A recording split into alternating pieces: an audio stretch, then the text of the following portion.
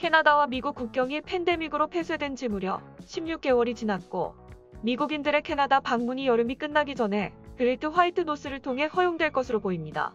트뤼도 총리는 미국과 진행 중인 재개방 계획에 대한 논의를 언급했으며 8월 중순부터 꼭 필요하지 않은 여행을 위해서도 완전한 백신을 접종한 미국 시민과 영주권자의 캐나다 입국을 허용할 수 있음을 시사했는데요.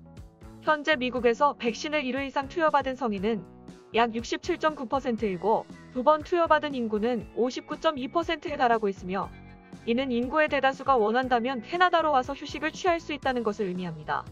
한편 캐나다에서는 12세 이상 거주자 중 77.7%가 첫 번째 백신을 맞았고 41%는 두 번째 백신까지 완료했습니다. 또한 접종률에 대한 긍정적인 반응과 공중보건 상태가 지속된다면 캐나다는 9월 초까지 모든 국가에서 온 완전한 예방접종을 받은 여행객들의 입국을 허용할 것으로 보입니다. 접종 증명서나 백신 여권 같은 국경 재개방의 정확한 날짜와 프로토콜에 대한 자세한 내용은 다음 주에 발표될 것으로 예상됩니다. 다음 뉴스입니다. 캐나다 정부가 곧 전 국민이 2차 접종을 받을 수 있을 만큼 백신을 확보하게 된다 밝혔습니다. 캐나다 보건부 측은 15일 기자회견을 통해 캐나다는 계속해서 백신을 매주 받고 있고 이제 몇 주만 더 지나면 캐나다 전 국민이 2차 접종까지 받을 수 있는 회분인 6,600만 회분을 기록하게 된다고 전했습니다. 지난해 12월부터 계속해서 확보해왔던 백신 전략이 잘 통하여 이제 곧 누구나 다 편하게 백신을 맞을 수 있을 예정입니다. 캐나다 전체 인구는 3,759만 명이며 6,600만 회분은 접종 가능 대상 인구를 놓고 보았을 때 계산한 수치입니다. 캐나다의 코로나19 백신 공급량이 충분해지면서 캐나다 정부는 개발도상국들의 여유분을 배포할 책임이 있지만 국민들의 안전이 최우선시 되기 때문에 그 어떠한 계획도 자국민에게 피해가 끼치는 일은 없을 것이라 전했습니다. 캐나다는 7월 9일 기준 접종 가능 대상자 중 67.9%가 1차 접종을 32%가 2차 접종을 완료하였습니다. 다음 뉴스입니다. 캐나다 통계청은 2019년에 사람들이 벌고 있는 수입을 바탕으로 캐나다 평균 소득이 얼마인지를 밝혔습니다. 이 데이터는 연령, 성별, 지역별로 분류되었습니다. 정부 기관에 따르면 캐나다 평균 개인 소득은 2019년 5만 1,740달러이며 이 소득은 남성과 여성의 차이가 있는 것으로 나타났습니다. 여성의 경우 평균 개인 소득은 4만 3,160달러였으며 남성의 경우 평균 개인 소득은 6만 810달러로 1만 7천달러 이상 차이가 나는 것으로 나타났습니다. 연령대별 개인 소득이 가장 높은 연령층은 45세에서 54세 사이이며 남성들은 평균 8만 2,590달러, 여성은 5만 6,680달러의 소득을 가진 것으로 나타났습니다. 남성의 경우 두 번째로 높은 소득 연령은 55세에서 64세로 평균 7만 3,490달러를 버는 것으로 나타났으며 여성의 두 번째로 높은 소득 계층은 35세에서 44세로 5만 3,540달러를 버는 것으로 나타났습니다. 캐나다에서 가장 평균 수입이 많은 지역은 알버타 지역으로 2019년 평균 수입은 5만 2,710달러로 나타났습니다. 다음 뉴스입니다. 코로나19 대유행이 전 세계에서 번지며 캐나다 정부는 cruise ship 운행을 금지시켰는데요. 캐나다 연방 정부가 15일 cruise ship 운행 금지령은 오는 11월 1일에 해제된다고 밝혔습니다. 기존 정부 방침은 2022년 2월 28일까지 금지하는 것이었으나 캐나다가 빠르게 백신을 확보하고 접종률도 세계에서 수위를 다툴 만큼 가파르게 올라 이와 같은 결정을 내린 것으로 알려졌습니다. 캐나다 정부는 단 크루즈 여행사는 반드시 캐나다 공중보건 지침을 따라야 한다며 2022 시즌부터 캐나다 국민들이 안전하고 즐거운 크루즈 관광을 할 수 있길 기대한다고 전했습니다. 그동안 크루즈 선박은 코로나19 유행으로 인해 지난해 3월 19일부터 지금까지 캐나다 그 어떤 항구에도 정박할 수 없었습니다. 캐나다 크루즈 관광 산업은 밴쿠버와 빅토리아를 중심으로 크게 발달해 있는데요. 크루즈 관광 산업으로 촉발된 즉 간접적 경제 활동은 약 7천 개의 일자리를 창출하고 22억 불가량의 경제 효과를 가져다 줍니다. 주로 알라스카 크루즈 관광 코스에 밴쿠버와 빅토리아 등의 도시들이 포함되어 있었습니다.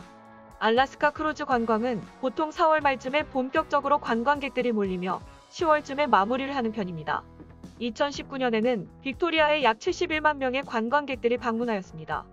다음 뉴스입니다. BC 동물보호기구가 최근 스탠리 파크에서 사람들을 습격한 코요테 4마리를 결국 안락사시켰다고 전했습니다. 동물보호기구 측은 최근 스탠리 파크에서 일어난 일련의 야생동물 습격 사건들의 코요테가 연관되어 있었다며 방문객들의 안전을 위해 이러한 선택을 내렸다고 전했습니다. 스탠리 파크에서는 2020년 12월부터 지금까지 약 20건의 코요테 습격 사건이 일어난 것으로 알려졌습니다.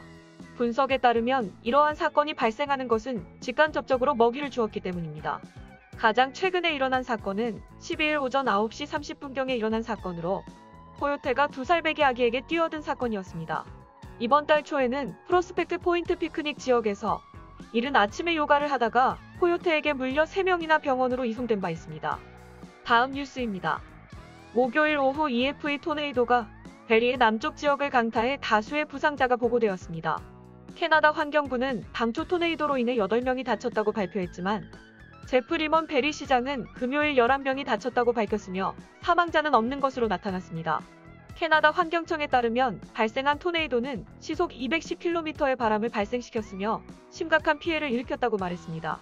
이로 인해 나무들이 뿌리째 뽑히거나 쓰러졌고 10채 이상의 지붕이 제거되었습니다. 두 채의 집은 2층이 파괴되기도 했으며 두 대의 차량이 전복된 것으로 밝혀졌습니다. 베리 경찰청은 토네이도 이후 도움이 필요한 사람들을 돕기 위한 긴급 전화 라인을 설치했습니다. 베리 시는 이번 토네이도 피해를 돕기 위한 지역 사회에 문의가 쇄도하고 있으며 이에 감사하다고 말했습니다. 시는 현재 기부를 받을지에 대한 논의 중이며 우선 필요한 것이 무엇이고 사람들에게 어떻게 도울 수 있는지에 대한 세부 정보가 확보되면 기부에 관한 더 많은 정보와 사람들을 도울 방법을 공유할 것이라고 밝혔습니다. 다음 뉴스입니다. 온타리오주는 재개방 계획의 마지막 단계에 들어가 실내외 모임에 대한 제한을 완화했습니다. 7월 16일 현재 야외 모임과 조직적인 공공행사는 100명까지 허용되고 있으며 실내 모임과 조직적인 행사는 25명까지 허용됩니다. 실내 회의 및 행사 공간은 신체적 거리 제한이 50% 또는 1000명으로 제한됩니다. 결혼식, 종교 모임, 장례식은 신체적으로 거리를 두는 실내에서 허용됩니다. 이제 콘서트 장소와 영화관은 실내에서 최대 50%의 수용 인원 또는 최대 1000명의 수용 인원을 제공하며 야외에서는 최대 75% 또는 5000명의 수용 인원을 허용합니다. 야외 이벤트 좌석의 경우 적은 인원에 따라 최대 75% 또는 최대만 5,000명의 인원이 허용됩니다. 박물관, 갤러리, 수족관, 동물원, 랜드마크, 과학센터, 카지노 및 빙고홀, 유적지, 놀이공원 등과 같은 활동과 레저 장소의 경우 실내에서는 50%, 실외에서는 75%로 제한됩니다. 실내 식당과 실내 체육관도 이번 재개관 계획에 포함됩니다. 지난주 키에런 무어 보건 담당 최고 의료 책임자는 온타리오 주민들이 예방접종을 받기 위해 나갈 뿐만 아니라 공중보건 조치와 조언을 준수한 지속적인 노력 덕분에 우리는 대부분의 주요 건강 지표들이 계속해서 개선되는 것을 보았다며 하지만 이 대유 행경은 끝나지 않았으며 델타 변종이 공중보건에 위협이 되고 있기 때문에 우리는 경계심을 늦추지 말고 공중보건 조치와 충고를 계속 달아야 한다고 말했습니다. 7월 15일 18세 이상의 79%가 첫 번째 접종을 받았고 59%가 완전히 백신을 맞았습니다.